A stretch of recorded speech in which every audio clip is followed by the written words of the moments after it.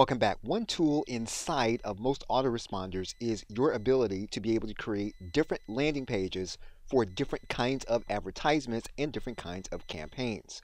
You'll notice here inside of the MailChimp autoresponder, we can create a specific landing page for a specific campaign and a specific advertisement. For example, in MailChimp, we can specify the specific list that we're going to be working with, and we can give the landing page an internal name. We can then begin the process. Now in MailChimp, there are specific templates that are available, and the availability of templates will vary for specific autoresponder companies. In this case, we're going to select a specific template. In the case of MailChimp, you can add and take out different elements for your landing page. For example, if what you want to do is you want to have fewer images, you can delete images from the MailChimp landing page.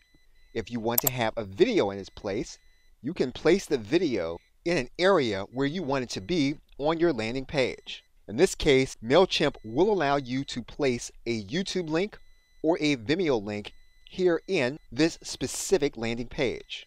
And so in the case of this MailChimp landing page, we can add in the YouTube URL and we can customize the YouTube URL inside of our landing page given the settings that MailChimp gives us. Typically, a landing page template will have editable features that you can place into the page the text that you want.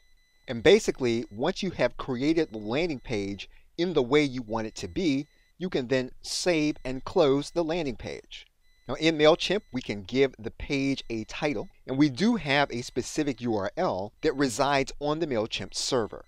What you can typically do inside of your autoresponder is to connect your existing domain so that people will connect the advertisement with your specific brand. And once you publish your landing page, it will then be ready for you to send visitors to it from your advertisements. Okay, so with that, thanks, and I will see you in another video.